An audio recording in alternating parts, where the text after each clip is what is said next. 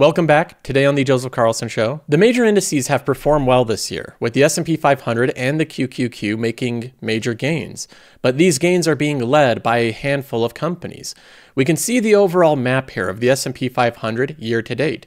We have some of the bigger names like Microsoft, Apple, Google, Meta, Amazon, Costco, Eli Lilly, Broadcom, all making huge gains year to date. But there's one company that really stands out that's already a large company. That is Nvidia, which is up 160% year to date. That is an astronomical return for a company the size of Nvidia. Nvidia alone has accounted for roughly one third of the S&P 500 gains year to date. Meaning that if you took away this company from the S&P 500, the S&P 500 would have returned around 11% instead of 17%. That's how big of an impact Nvidia alone has had. It's really been breathtaking. It's been astronomical. Anytime a company has this large of an influence, this much attention, and this much momentum, I think it's important to look at it from a value investor perspective. And that's what I plan to do in this video.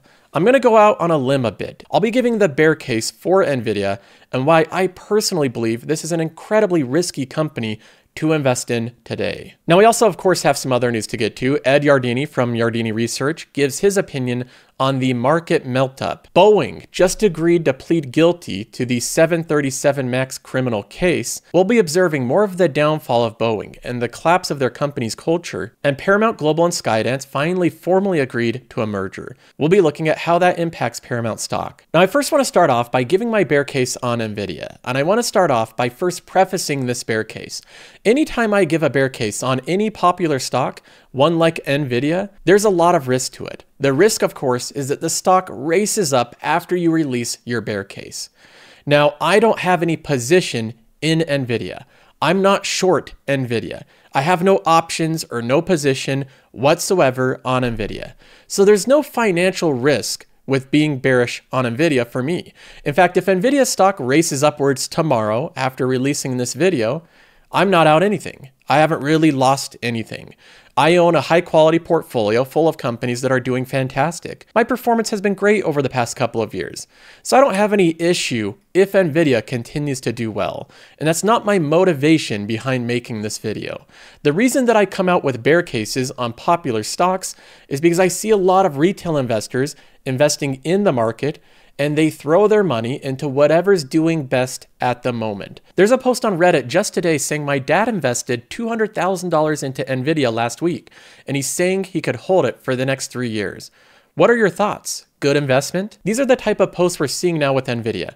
People's dads throwing $200,000 into the stock just to hold it for a couple years and see how things go. And this type of thing is to be expected. Nvidia's phenomenal performance this year brings a lot of attention to the stock, which increases the chance of retail investors pouring money into this company, for better or worse. A lot of this is due to recency bias. Recency bias is a normal thing. Most of us have this. It just means that we give more attention to recent events over historical events. And recently, the best stock in the market is Nvidia, by far. This also seems to follow another pattern. Investors clamor into stocks that have recently had incredible outperformance and then they go on for years having underperformance. One of the best examples of this is Tesla, a stock that has been flat for over three and a half years. To this day, even after this recent rally, Tesla stock still trades below where it was in 2020, and well below where it was at the price point in early 2021. I made similar videos on Tesla at the time, calling out the insanity of ARK Invest's $3,000 price target for Tesla. In that video, I argued that Apple is a much better opportunity than Tesla given the valuation and the fundamentals. Since that video, Tesla is still under the price point that it traded at three and a half years ago when I released that video. Apple has increased by over 80%. Now, I didn't come out with that video because I hate Tesla and want it to fail. I came out with a video to highlight a stock that was incredibly popular, being promoted by many popular figures, saying that the demand for Teslas was unlimited. It would go on forever, saying that they were selling every vehicle they made and their margins were going to march higher and higher and higher.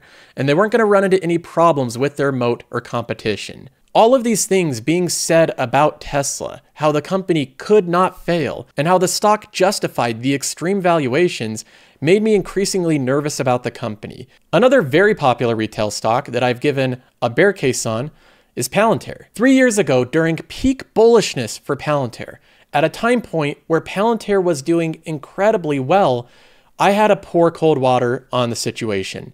I released a video called why I'm not buying Palantir. I went over the business fundamentals, the growth prospects, and the valuation, expressing my concern that Palantir traded at an incredibly high valuation. That video was released February 19th, 2021. The stock price at the time was $29 per share, and even three and a half years later, Palantir still does not to this day trade above that price. Now again, Tesla and Palantir are both great companies. I'm not against what they're doing or the companies themselves. In fact, I could see myself investing in them with the right situation. But both of these stocks got into situations where good companies made poor investments. So the purpose of making these bear case videos is not to bet against these companies or profit from their demise. It's to give a different perspective for retail investors that see these as fantastic investments. In many cases, great companies can make poor investments if you invest in the company at the wrong time. And with NVIDIA, I think it's very questionable. In fact, I think it's very risky to invest in it at this time. The first thing that we can point to is how NVIDIA makes money.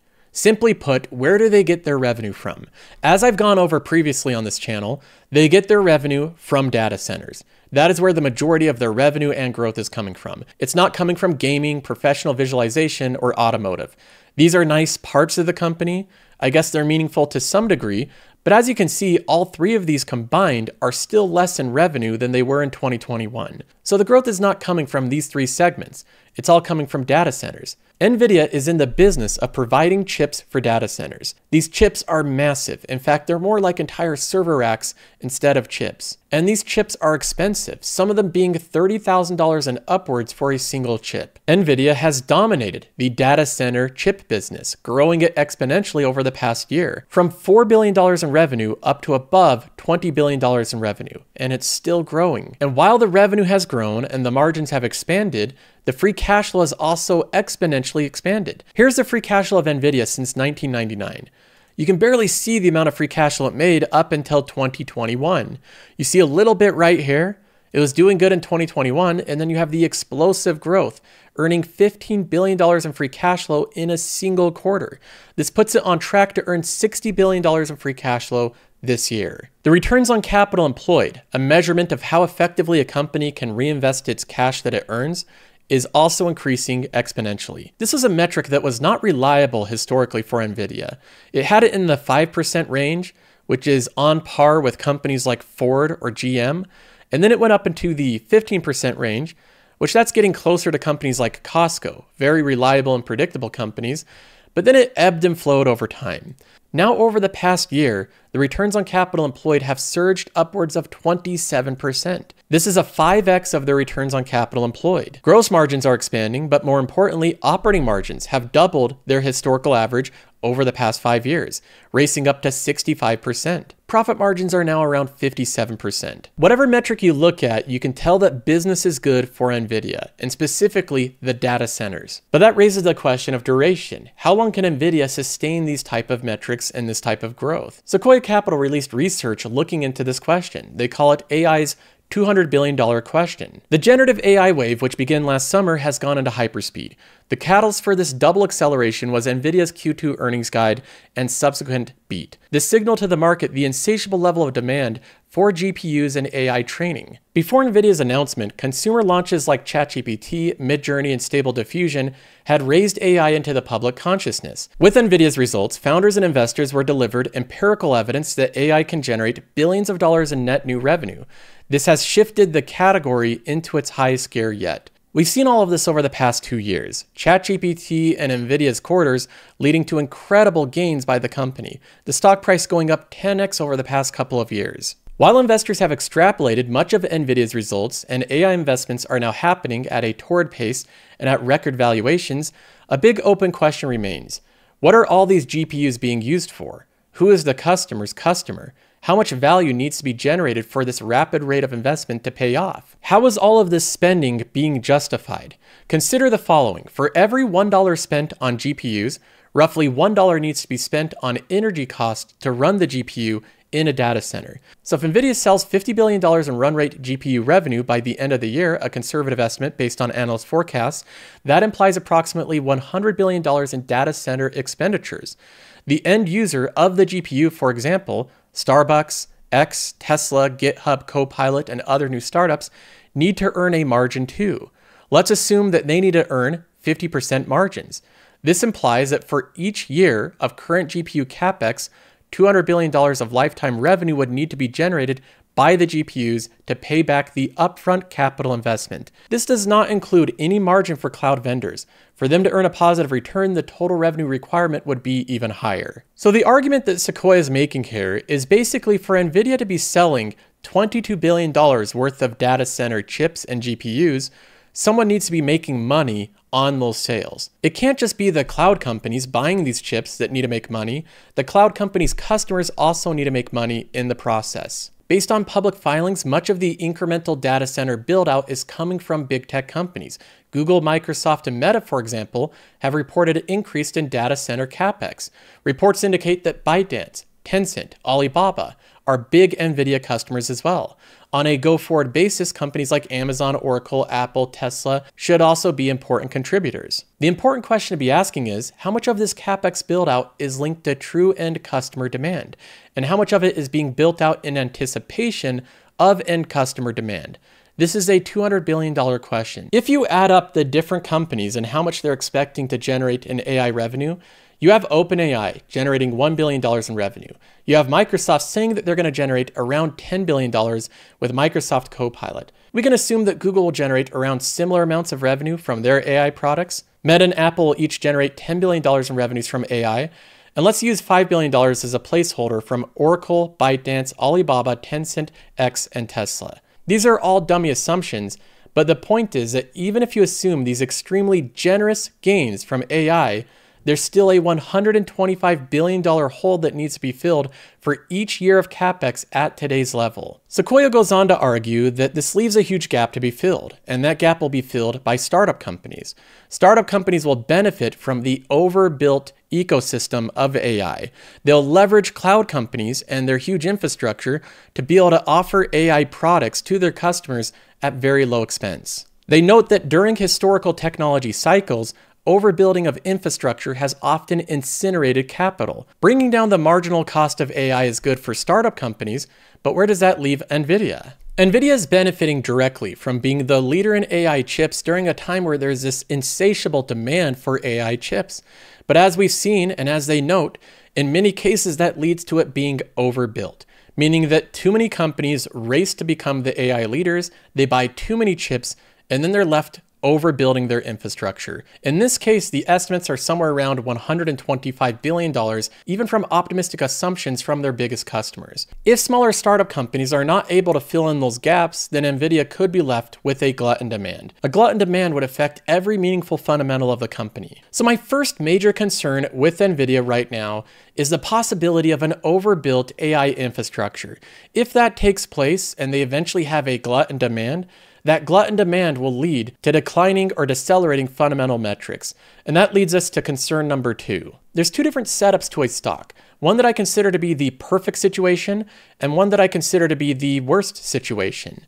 I always try to find companies that lean more to this left side, more to the perfect situation, because it leads to outperformance. Of course, the worst situation often leads to underperformance. So let's go ahead and go through this. Under the perfect ideal situation for the setup of a stock, you want a company that has accelerating revenue growth. Now, accelerating revenue growth does not mean a company that's growing revenue. A company may grow revenue 10% year over year over year. That company does not have accelerating revenue growth. A company that has accelerating revenue growth means the rate of growth is increasing year over year. So one year it's growing 5%, and then suddenly it's growing 10% or 15% or 20%. It's great for companies to have continually growing revenue, but it's incredible if a company can have accelerating revenue growth, especially when it's unexpected. Now, we also have the same thing here with earnings growth. We have accelerating earnings growth. Again, this doesn't mean that they're earning the same amount every year. It means that they're earning at an increased rate every year. These type of companies typically lead to outperformance. We also have expanding margins. If the company has accelerating revenue growth, accelerating earnings per share growth, and expanding margins at the same time, that is a win-win-win. That is a situation where your stock is going to go up almost definitely. In fact, every situation that I've seen this with the stock, the stock price goes up. And then finally, to cap this off, the perfect situation, in my opinion, is when you get accelerating revenue growth, earnings growth, and margin expansion tied together with a low starting valuation, an undemanding valuation to start things off, leading to multiple expansion over time. A company that fit this situation was Netflix two years ago. At one point, investors were so bearish on Netflix that they traded the stock down to around $170 per share, right below $200 per share for a couple of months. During this time period, Netflix had a 15 forward PE ratio. It was a lower multiple than the market. Netflix had a low starting valuation, leading to multiple expansion. Netflix went from a 15 forward PE ratio now back up to a 36 forward PE ratio. During this time period two years ago, Netflix had accelerating revenue growth. Netflix's flat revenue in 2021 is what caused the 70% sell off in the stock. Many investors thought the company was done for because the revenue was going down. But then we had a reacceleration in revenue that reignited investors' bullishness on the stock. Accelerating revenue caused the multiple to expand. All of these factors of accelerating revenue growth, earnings, margin expansion, and a low starting multiple led to an incredible return for this stock. From this point, Netflix is up 267%. This incredible return is a result of this perfect situation. But then we move on to the worst situation. We have decelerating revenue growth. We have decelerating earnings per share growth. We have margin compression with margins going down. We have a high starting valuation with very high expectations from investors, leading to multiple compression over time. The worst situation is the exact opposite of the perfect situation. And if we ask the important question here, which situation does NVIDIA stock appropriately fit into right now? I think we can take a look at that. The first question is regarding revenue. NVIDIA has benefited dramatically from accelerating revenue growth. We've seen that over the past year, but that is not going to happen over the next year. NVIDIA's revenue growth is going to decelerate quickly. NVIDIA's revenue growth is going from rates of 97% down to 30%.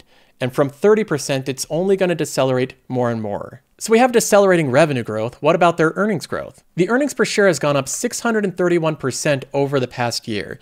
It is impossible for Nvidia to keep these earnings growth rates up. It is going to decelerate dramatically over the next year. Margins is another big question, and there's a lot of debate about margins with Nvidia. We know that Nvidia stock has dramatically benefited from rising margins over the past year, but the question now is whether or not those margins are likely to continue going up or more likely to go down. If I have to take a guess here, with margins at 65% for something that every company is now trying to build out because of how profitable it is, I think the margins are more likely to go down over the next three years than up. There is a chance they could go up. Maybe NVIDIA can protect their moat completely, but I have to believe there's more of a chance of margins going down than up. And then finally, the current valuation of the stock. Is it a low valuation that will lead to multiple expansion, or high starting valuation, leading to multiple compression. NVIDIA currently has a 54 PE ratio and a 40 price to sales. This is a pretty high valuation, and if I'm looking at this stock right now, I think there's far more chance that it's going to have multiple compression over the next five years than multiple expansion. Maybe the PE ratio could go to 60 or 70, maybe the price to sales could go to 50, but overall, I see far more downside with their multiples than upside. So it's priced at a price right now with a high starting valuation and very high expectations from investors. When I look over the situation overall, I see a company that is likely to have decelerating revenue growth, decelerating earnings growth, margin compression, and it's at a pretty high valuation. Now, that doesn't mean that the stock is doomed. NVIDIA could do just fine, but it has a lot of factors working against it. It has a far more uphill battle than when it was in the situation two years ago where everything was accelerating, everything was expanding, and the valuation was lower. Again, it's impossible to see the future. Maybe Nvidia will continue to trade upwards with incredible demand, especially in the short term. But over the next three to five years, I have to look at this from the perspective of a value investor, with the fundamentals, the valuation, and the future growth prospects of the company. And right now, I see a lot of reasons to be a little bit concerned about this company more than to be extremely bullish on it. I consider it right now an incredibly risky proposition to invest in Nvidia. The final point I'll make is something that I think is interesting to look at, and that is that overall, insiders are selling shares of their stock. Not just their compensation through their stock based comp, but they're actually unloading some of their position, especially over the past month. NVIDIA insiders have been selling around 1% of their stake in the company just in the past month alone, which is not a huge deal. In fact, I don't consider this overall that big of a deal in and of itself, and I'd never make a bear case on a company centered around insiders taking some gains. So, in and of itself, I don't think that this is too big of a problem. But when I'm looking overall at the stock and the situation right now, I think it's just another thing to throw in, another thing to mention, because we do see insiders overall taking a bit of the gains here, I don't see any buys coming through with insiders. So there's my overall concerns about Nvidia and a different perspective on a stock that has been incredibly popular. Now let's go ahead and move on to some news here. We know the market has been going up over the past couple of weeks, seemingly every day, inching up inch by inch. And Ed Yardeni, who has a lot of information on the market, he publishes a lot of charts, says that this is a slow motion market melt up. I think the way I would describe things is we're in a slow motion melt up. Um, the market just uh, for the past few weeks has just continued to march higher to new record highs, and it's done it on uh, disappointing economic indicators because I think investors have concluded that let's not worry too much about the, uh, the economy slowing or even a recession, because if that were to uh, even become a, a significant uh, risk, the Fed will move pretty quickly to lower interest rates. I don't think the Fed needs to lower interest rates, but uh, the Fed looks like they're ready to lower them if necessary. Ed argues that the reason the market continues to go upwards despite weak economic data is because investors realize that the Fed is on their side, and the Fed will lower interest rates if the economy ever runs into trouble. I don't agree with him here. I don't think that's the reason that most investors continue to buy.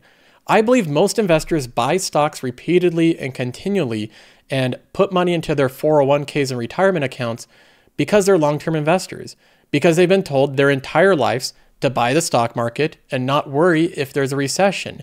Eventually, it will recover. Most investors understand throughout history that we've gone through recessions. Most investors in America investing into their retirement accounts aren't trying to time the ebbs and flows of the market.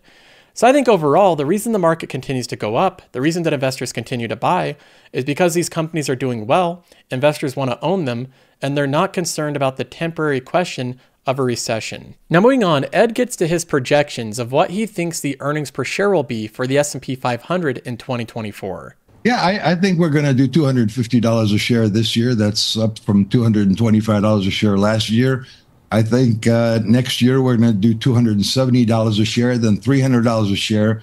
Uh, by the end of the decade, I think we could be looking at four hundred dollars a share. Um, Ed's forecast is for the S and P 500 to earn 250 by the end of the year.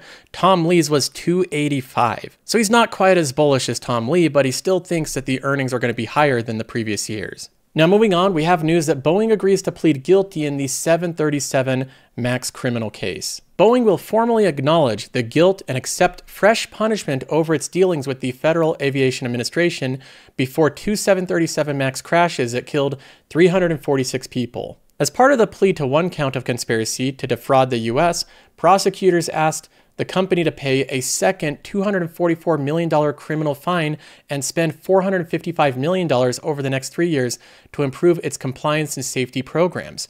Boeing also must hire independent monitors for three years to oversee these improvements. Pleading guilty creates business challenges for Boeing. Companies with felony convictions can be suspended or barred as defense contractors. Boeing is expected to seek a waiver for that consequence. The company was awarded Defense Department contracts last year valued at 22.8 billion. Also as part of this plea agreement, Boeing board of directors agreed to meet with victims' families.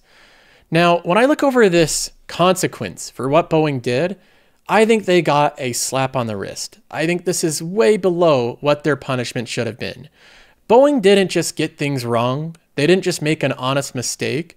They intentionally and willfully put dangerous planes on the tarmac with passengers in it. They didn't do any proper checks before the second crash after they knew that something was dramatically wrong with the first one.